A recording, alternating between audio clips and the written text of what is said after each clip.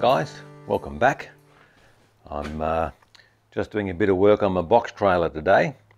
I had it out uh, a couple of days ago and we uh, picked up a load of uh, road base, filled it up to the top of the sides there, so it was probably up around the maximum weight the trailer is meant to handle, possibly a little bit over. Um, took it out yesterday and I noticed that it was particularly rattly. And uh, it's a rattly trailer anyway but uh, it sounded like it was having other problems. So I'll just give you a, look here. The, the uh, tailgate makes a bit of noise. And if you look down here at the the uh, tow hitch you can see I get a bit of rattle in here, but I've also got a fair bit of movement on the ball itself. So I can't do much about this one, but I, I can tighten up this adjustment here a little bit. And uh, I also notice down on the wheels, hang on a second, I'll just uh, reposition the camera. Might be a bit hard for you to pick up on the camera, but uh, I can feel a little bit of um, free play in the bearings if I wobble the wheel this way. Um, so what I'm going to do is uh, check out the bearings and I might be able to adjust it out a little bit and then uh, I'll check whether I need to put any more grease on the on the bearings and things like that. So um, I'll also pick the wheel up off the ground and make sure they're um, still spinning properly and not uh, not anything funny going on there. The actual springs look all right. I've had the springs pop out of uh, the channel before, and whether you can see it in this light, down in there, you can see the back of the leaf spring. Yeah, it's just down in about there. And I had one of those pop out of the, the channel there. The front end is uh, on a bolt, but uh, I've got no idea how that managed to come out of how that spring came out of there. I managed to prang it back in again without cutting my fingers off. And uh, anyway, I'll um, let's get a wheel off and see what we can find.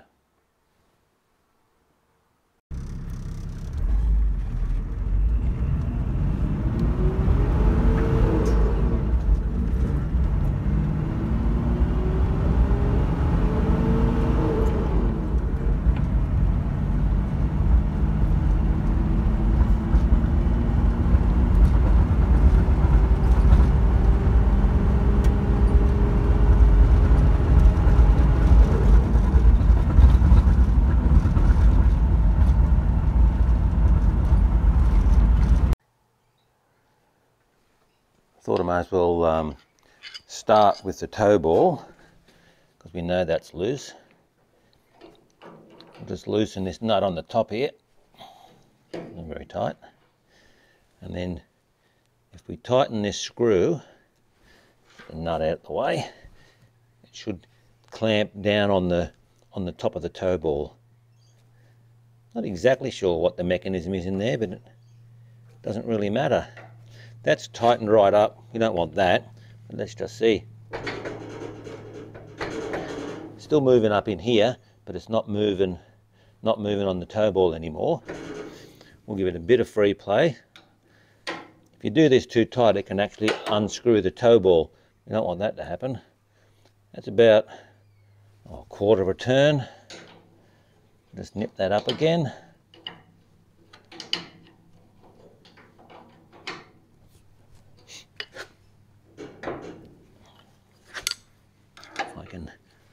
That in there. There's almost no play there now.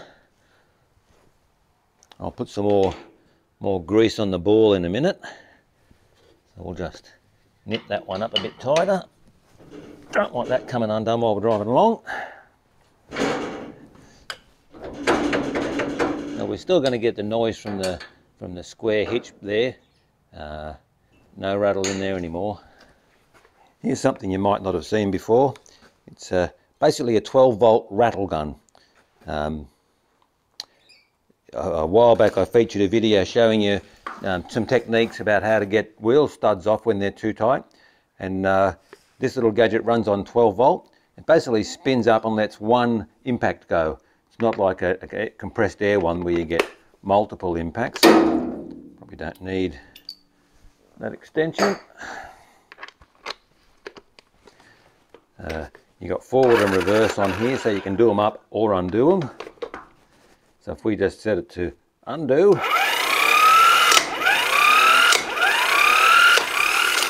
there you go, it's off there.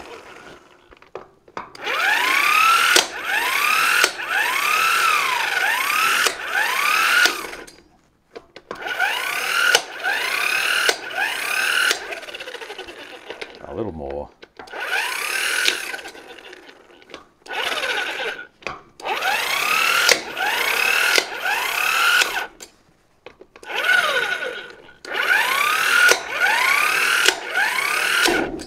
That's it. That's all five of them off. You'd normally just plug it into your cigarette lighter. I could have spun them right off, I suppose. Might be a bit quicker.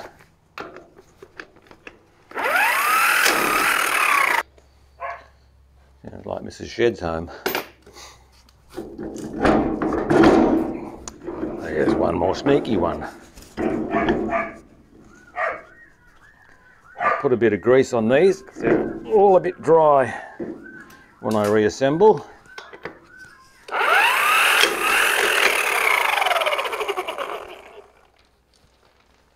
Never hurts to have a bit of grease on your threads.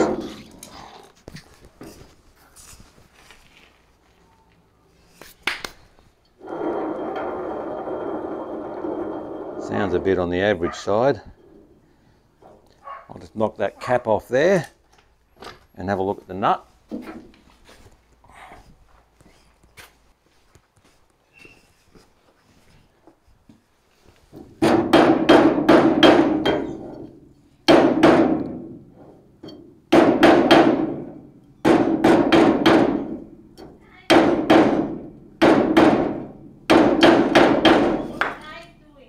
Fixing the trailer. What happened?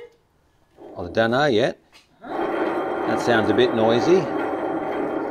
And I can also cut. There's a little bit of play there that shouldn't be there. So I'll put some grease on it, give the nut a bit of a tighten. And am. go from there. How was um Okay, good. yeah? Oh, you're doing something. Oh yeah, that's all right. I'll cut that bit out.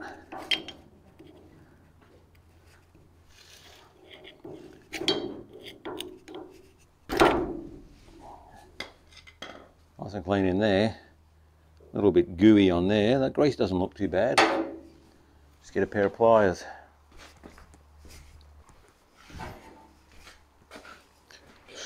Straighten out the split pin. It's not a cotter pin.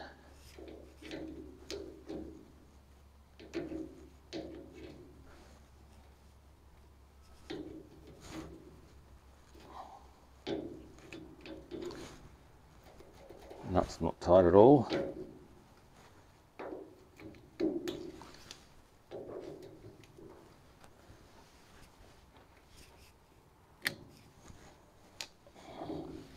If I can get it reasonably straight, I should be able to just tap it out. Go. Now let's just see how much I can tighten that nut. And not much. Maybe up to the next hole in the next notch in the in the nut.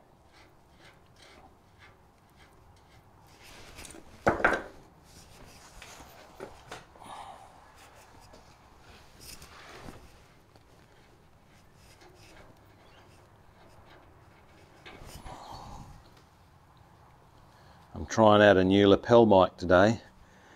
I'm just wondering if I'm going to get a lot of rustly noises from it rubbing on my jacket. Only, only one hole in there. So that if it has two holes, it'll give us more choices on uh, where we can line the nut up.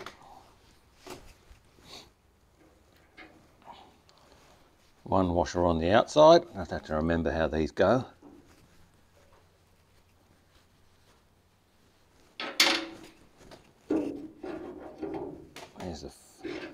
First part of the bearing. Doesn't look raised. And the hub will come off.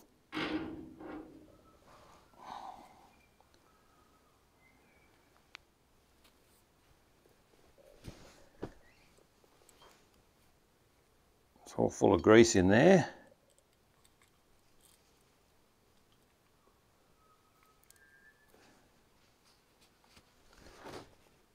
Look destroyed and the grease still looks pretty good. I changed the grease on these about probably six or seven years ago now and it still doesn't look too bad. So I might just whack some more in there.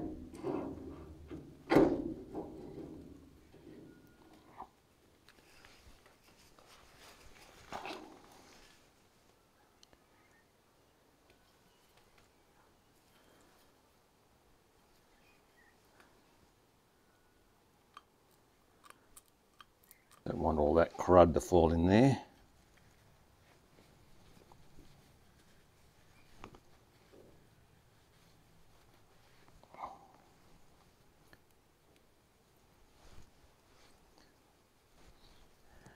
I'm guessing if I want to get that one out, I need to pop out this oil seal one that slides on the axle up here. Might leave well enough alone there. Doesn't sound too crash hot. If I can find a, a code on these bearings, I'll order some more. China. That's a good start, isn't it?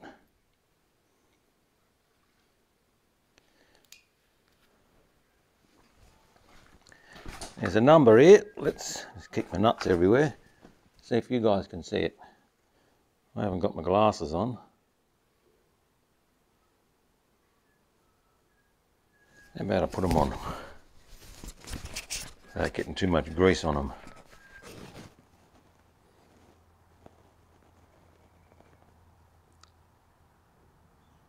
See it says China up the top there.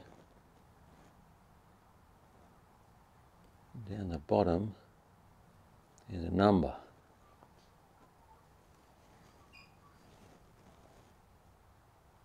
LM something. Yeah, I'll order that.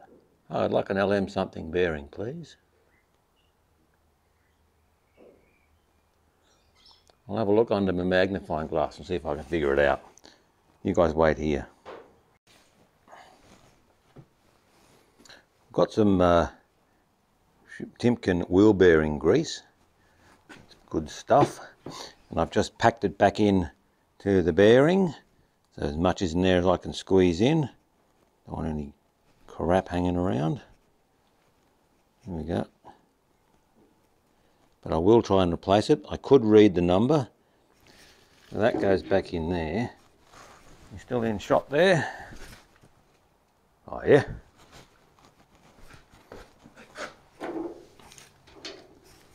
Get our washer.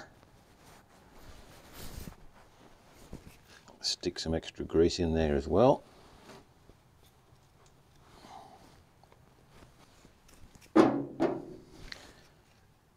It's the same either way up. And the nut goes on.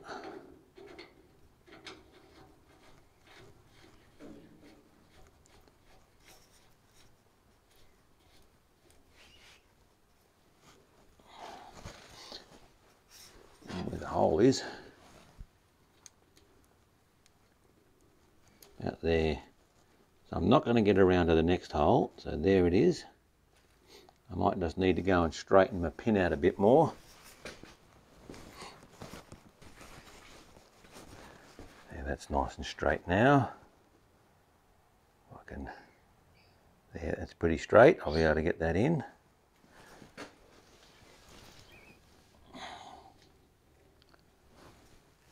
I'll put it in upside down.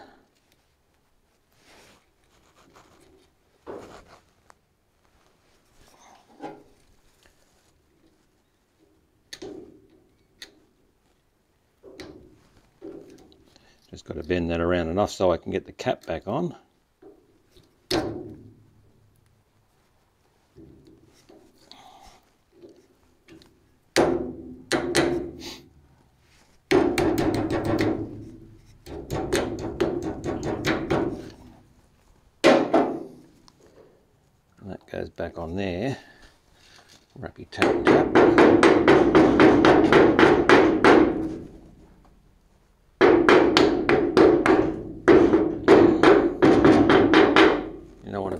Bash the shit out of it or you'll dent this all up around there.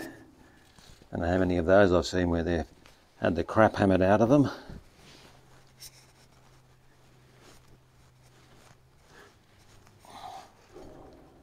Sounds a bit better.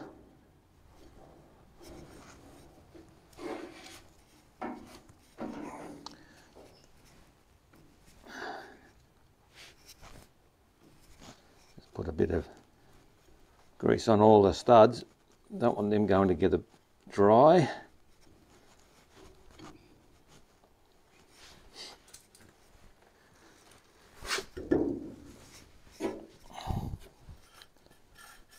Mud crap stuck on that.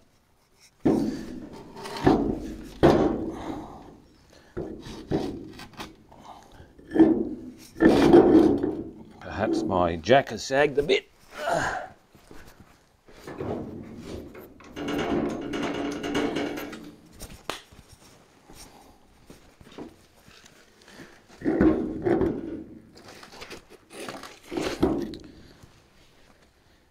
Some grit on the studs.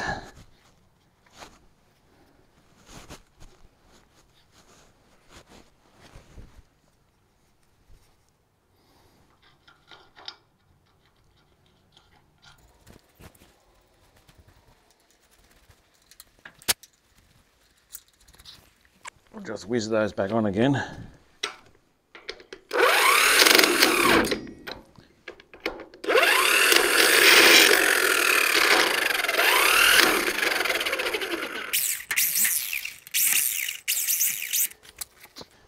Usual, you do them diagonal or opposites.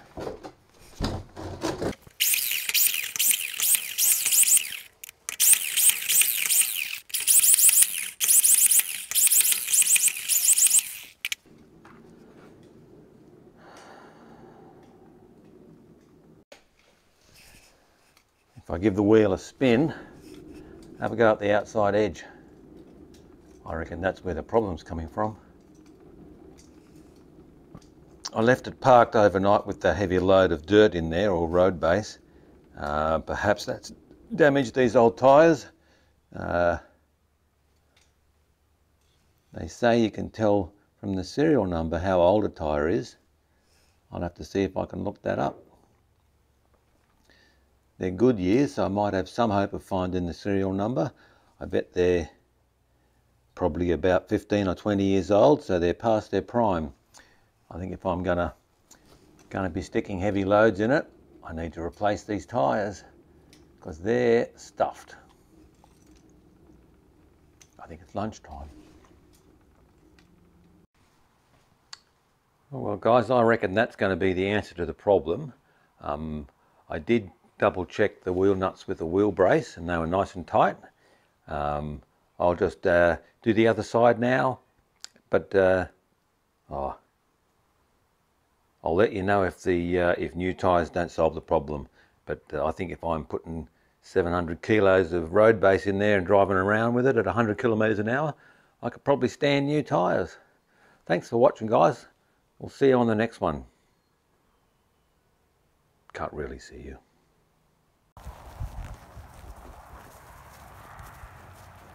Indycam.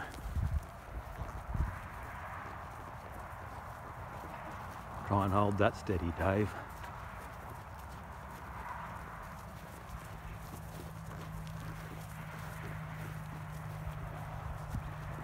There's Yana on the ground. Flash out hunting quail somewhere.